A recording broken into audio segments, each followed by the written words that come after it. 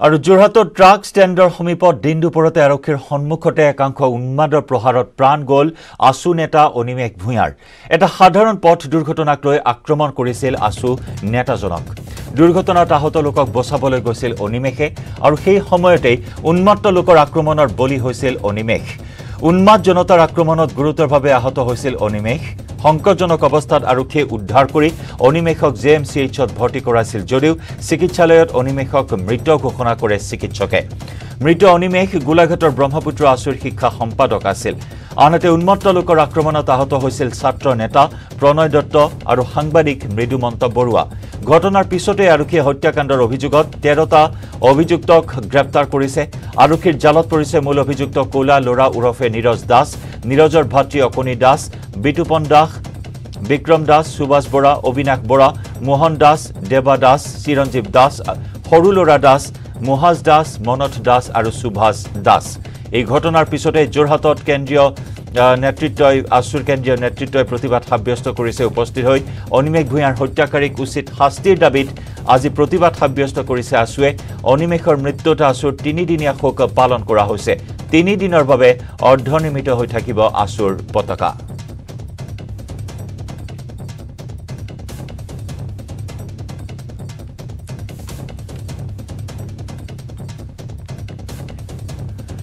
আৰু কেনেকৈ উন্মাদ জনতাই আক্ৰমণ কৰিছিল দুই ছাত্ৰ নেতাকে ধৰি সাংবাদিকক। এই আক্ৰমণৰ শিহৰণকাৰী বৰ্ণনা দাঙি ধৰিছে আক্ৰমণত আহত সাংবাদিক মৃদুমন্ত বৰুৱাই।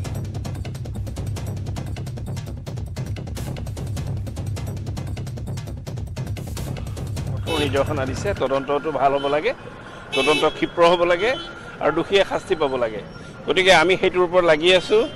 আমি ইতিমধ্যে তেৰজন মানুহ এৰেষ্ট কৰিছোঁ আৰু আমি ক্ষীপ্ৰভাৱে যাতে মানুহে ন্যায় পায় আৰু ভিক্টিম যি আছে তেওঁলোকৰ পৰিয়ালে ন্যায় পায় সেইটোৰ কাৰণে আমি লাগি আছোঁ। যিগৰাকী মূল অভিযুক্ত সেই মূল অভিযুক্তগৰাকীৰ বিৰুদ্ধে পূৰ্ব অভিযোগ আছিল পূৰ্ব গ্ৰেপ্তাৰ হৈছিল কিন্তু আইনৰ সুৰুঙা দি ওলাই গৈছিল। কেনেদৰে ওলাই যাব পাৰে? নাই আমি এইটো চাম আমি ভালদৰে তদন্ত কৰি এইটো যাতে ওলাই যাব নোৱাৰে তাৰ ব্যৱস্থা ল'ম।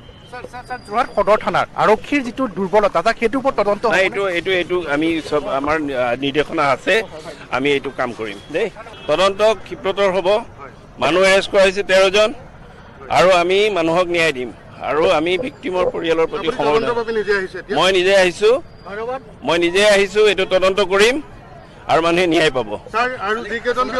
আৰু এইখিনি ব্যৱস্থা লৈ থকা হৈছে। হা? আপোনালোকে এইখিনি বস্তু লৈ থকা হৈছে। আৰু আপোনালোকে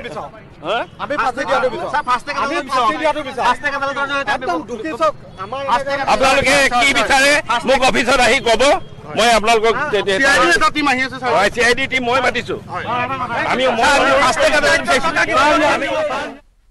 সদৌ অসম ছাত্ৰ সন্থাৰ এগৰাকী অতি সম্ভাৱনাপূৰ্ণ নেতা অনিমেষ ভূঞা যিগৰাকী যুৱকে যোৱাকালি যোৰহাটলৈ নিজৰ ব্যৱসায়িক প্ৰতিষ্ঠানৰ বাবে বজাৰ কৰিবলৈ আহোঁতে দিন দুপৰতে একাংশ দুৰ্বৃত্তই মৰিয়াই মৰিয়াই হত্যা কৰা কাৰ্যক আমি অসম জাতীয়তাবাদী যুৱ ছাত্ৰ পৰিষদে অত্যন্ত মৰ্মাহত হৈছোঁ আৰু গৰিহণা যোগাইছোঁ। লগতে দোষী যিকেইগৰাকী দুৰ্বৃত্ত সেই দুৰ্বৃত্তসকলক ইতিমধ্যে আৰক্ষী প্ৰশাসনে একাংশ গ্ৰেপ্তাৰ কৰিছে। আৰু যিসকল জড়িত হৈ আছে সেইসকলকো গ্ৰেপ্তাৰ কৰিব লাগে। আৰু তেওঁলোকক অত্যন্ত কঠোৰ আৰু দৃষ্টান্তমূলক শাস্তি প্ৰদান কৰিব লাগে। ভেৰি আনফৰ্চুনেট এটা লোমহংসক হত্যাকাণ্ড। এইটো নিন্দনীয় আমি নিন্দা কৰিছোঁ।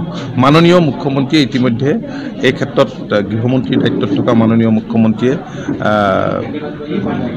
ৰাজহুৱাভাৱে প্ৰতিক্ৰিয়া প্ৰকাশ কৰিছে আৰু যাৱতীয় যিখিনি নিৰ্দেশ দিব লাগে সেইখিনি নিৰ্দেশ দিছে।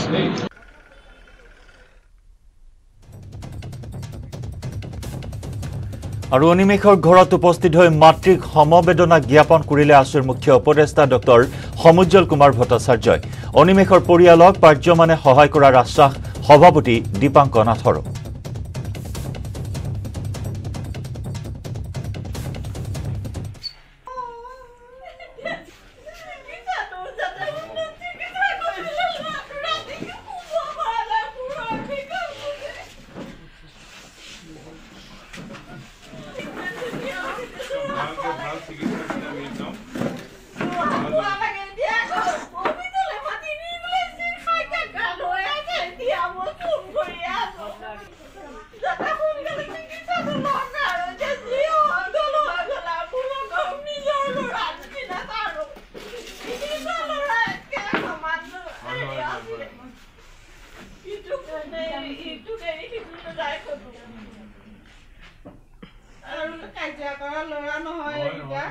কোনোবাই মাৰিলেও বিপদৰ পৰা মানুহক উদ্ধাৰ কৰিবলৈ গৈছিল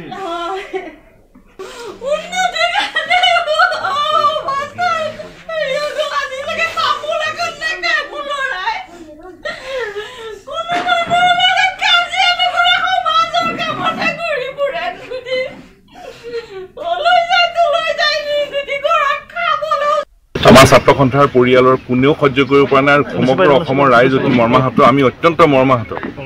গতিকে অসমৰ সন্মানীয় মুখ্যমন্ত্ৰী ডাঙৰীয়াৰ প্ৰতি আমাৰ আহ্বান যে যোৰহাটৰ মাজমজিয়াতে নাগৰিকৰ নিৰাপত্তা নোহোৱা হ'ল। গতিকে প্ৰত্যেকজন হত্যাকাৰীক গ্ৰেপ্তাৰ কৰিব লাগে। আৰু প্ৰত্যেকজন হত্যাকাৰীক দৃষ্টান্তমূলক কঠোৰ শাস্তি দিব লাগে। ভৱিষ্যতে যাতে কোনো এনেধৰণৰ কাম কৰিলে সাহস গোটাব নোৱাৰে তাৰ কাৰণে কঠোৰ ব্যৱস্থা ল'ব লাগে। এতিয়া এই যে হত্যাকাৰীসকলে যে দিন দুপৰত আমাৰ যে ছাত্ৰ সন্থাৰ সতীৰ্থগৰাকীক হত্যা কৰিলে তাৰমানে প্ৰশাসনৰ প্ৰতি তেওঁলোকৰ কোনো ভয়েই নাই। প্ৰশাসনৰ প্ৰতি ভয় নোহোৱা এটা পৰিৱেশ হৈছে। সেই কথাটোহে চৰকাৰখনে বুজি পাব লাগে। আৰু এজন আমাৰ সতীৰ্থ হত্যা কৰিছে বৰ্বৰভাৱে হত্যা কৰিছে প্ৰত্যেকজন হত্যাকাৰীক চৰকাৰে গ্ৰেপ্তাৰ কৰিব লাগিব। এক দুই নম্বৰ কথা তেওঁলোকে পোন্ধৰ দিনৰ ভিতৰত চাৰ্জশ্বিট দিম বুলি কৈছে দিব লাগিব। ফাৰ্ষ্ট ট্ৰেকৰ ভিতৰত বিচাৰ কৰিম বুলি কৈছে ফাৰ্ষ্ট ট্ৰেকৰ বিচাৰটো নিৰ্দিষ্ট সময়ৰ ভিতৰত সম্পূৰ্ণ হ'ব লাগিব। এটা এনেধৰণৰ এটা এটা বৰ্বৰ হত্যাকাণ্ড যোৰহাটৰ মাজত যদি হৈ যায় যোৰহাটৰ নগৰত যদি হৈ যায় গোটেই অসমত ৰাইজৰ নিৰাপত্তাটো ক'ত? সেই কথাটোহে আচলতে চৰকাৰে নিজে ভাবিব লাগিব। আৰু আমাৰ আশ্বাস প্ৰতিশ্ৰুতি আমাক নালাগে। আশ্বাস প্ৰতিশ্ৰুতি আমাৰ ল'ৰাজনৰ জীৱনটো ঘূৰাই আনি দিব নোৱাৰে।